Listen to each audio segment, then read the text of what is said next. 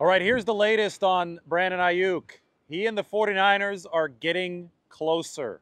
I can verify that. And Mike Garofalo had a few more details in his latest report where he said that the three year cash flow, the three year APY, the guaranteed money, a lot of that stuff is already essentially agreed on between Brandon Aiyuk and the 49ers in this contract negotiation. But Garofalo said, and I quote, Aiyuk just wants an adjustment in the final year. So let me explain what that means because there's a ton of misinformation around, around there. A lot of people are saying, well, they offered him 30 million a year. That's the be all end all.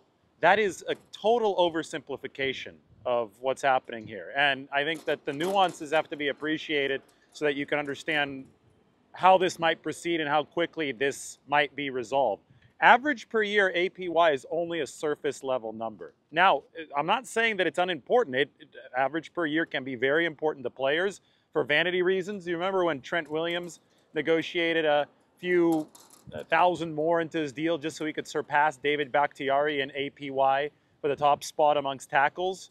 Well, Brandon Aiyuk might want a little bit more than Amon-Ra St. Brown. Remember that the current 49ers negotiations with Brandon Aiyuk, we, we've reported that the Amon-Ra St. Brown deal is uh, what brought the 49ers or took this from being close to done back in April to obviously this, this entire lengthy process. So APY could be important to Brandon Aiyuk for those vanity purposes. Also, agents typically like a good, healthy APY on a deal because they can then advertise that APY to other clients. So those are two, you know, reasons why APY is not something to just completely scoff at, but it is not the meat and potatoes of any NFL contract. The meat and potatoes lies in the guaranteed money, total guaranteed money and fully guaranteed money.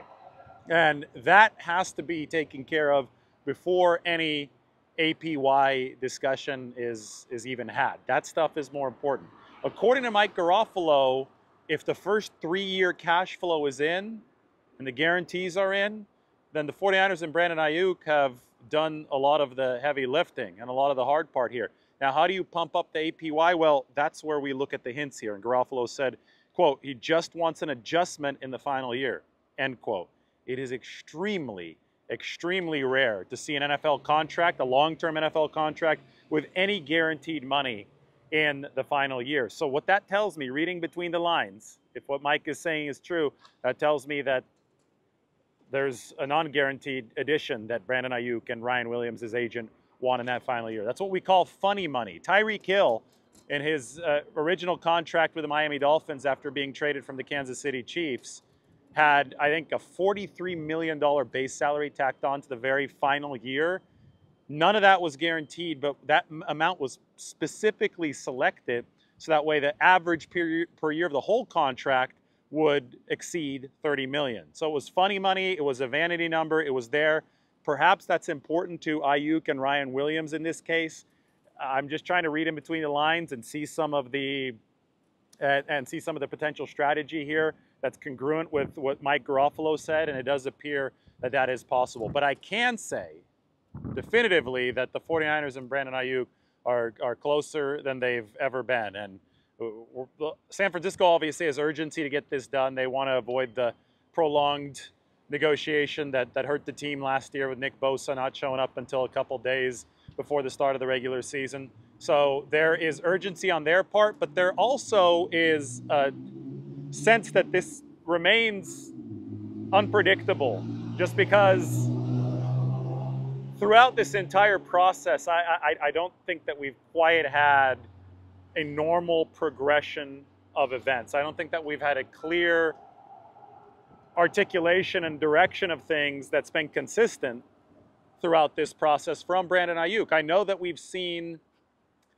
the posts that he's made or, or some of the comments that he's made in interviews over the course of the offseason that have all indicated that he wants to play with the 49ers and he wants to resign here for a long-term deal. But we've also seen cryptic messages from him and his camp filtered in throughout uh, the rest of that process. For, due to that, this has been a rather unpredictable saga, and I think that regardless of whether or not the 49ers were bluffing during the, the whole past to what 17 days or so with uh, all of the trade talk and uh, all of those rumors, regardless of whether or not there are guardrails in place to prevent a, a, an actual trade from ever happening, this has been more dramatic and more volatile, especially in the on online rumor mill, than other 49ers negotiations before, it, even more so than the Debo Samuel negotiation. So I want to emphasize that there's still a degree of unpredictability here, and I think that everybody probably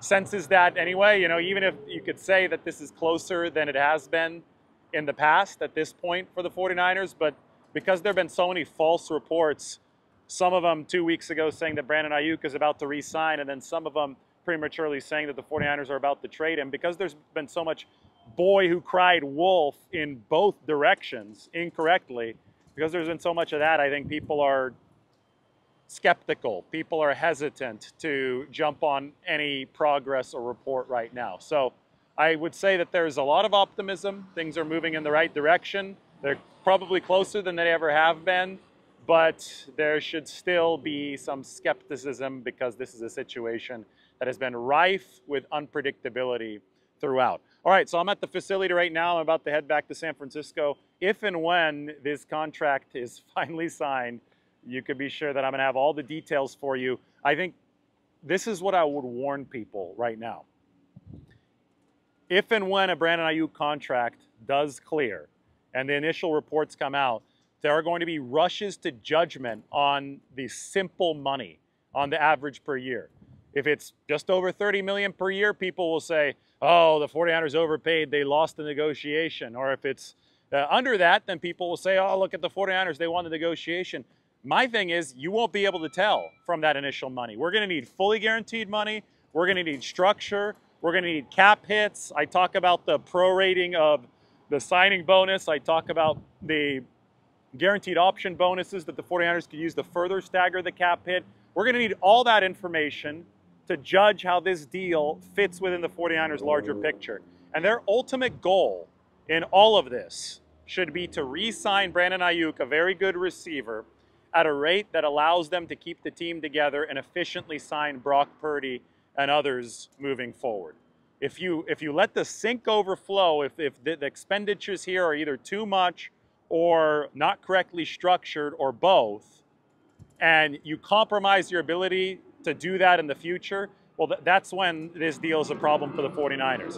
We will not know for sure when, if and when this situation is, is resolved and we get the initial reports, we will not know for sure how this deal stands and how it affects the 49ers in big picture judgment. But we'll know shortly thereafter.